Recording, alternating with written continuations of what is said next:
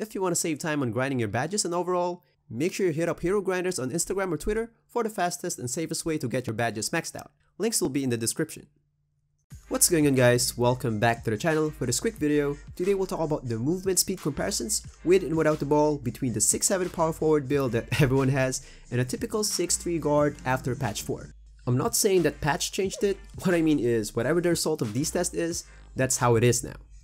I made an exact video about this one months ago, the one on your screen now, so we will cross compare the results because I received some comments lately that apparently they feel that their build gone slower. So we'll find out. Now let's get into it. So we'll be using the same two players we used before, with those stat line. We'll do movement with the ball first, and as you can see here, it's the same. Nothing has changed. Now, my question to you is, do you agree with this? Do you agree that a 6'7", 210 pounds with all those stat line in there will be faster than a 6'3", 170 pounds with all those stat line?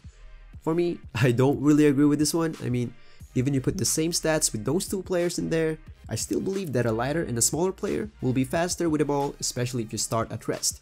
Keep in mind that lots of aspects of the game are coming into play here, like how quick first step works, like how the acceleration and speed with ball were utilized, so I don't really agree with this. I know some of you might say, oh Tutes, players with longer strides cover a lot of ground, but you gotta consider as well, shorter strides will move faster, right? So it could be either way. Trust me, it's not that simple, like there are lots of things going on in there, it's not just stride movement frequency and length. But let me know in the comment section later what do you think. And there's a lot more to talk about in this video, so just comment later. So now you might ask, what is the main reason? The game favors the longer player.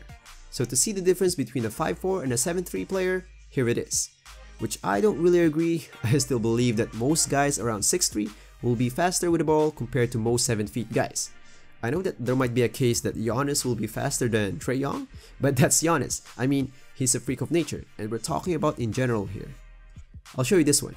So okay, let's say 2K believe that longer stride is much faster, but why in moving without the ball, smaller is much faster? So it's clear, 2K messed it up. To be honest, if they really want to consider stride length like that, it should be the other way around. Like smaller players should be faster with the ball, and taller players should be faster without the ball if they really want to follow their principle, so they just messed it up. And here's the movement without the ball difference between the two builds. And it's clear that the smaller player is much faster.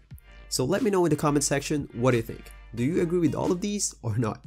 So in summary, nothing has changed from December to after patch 4.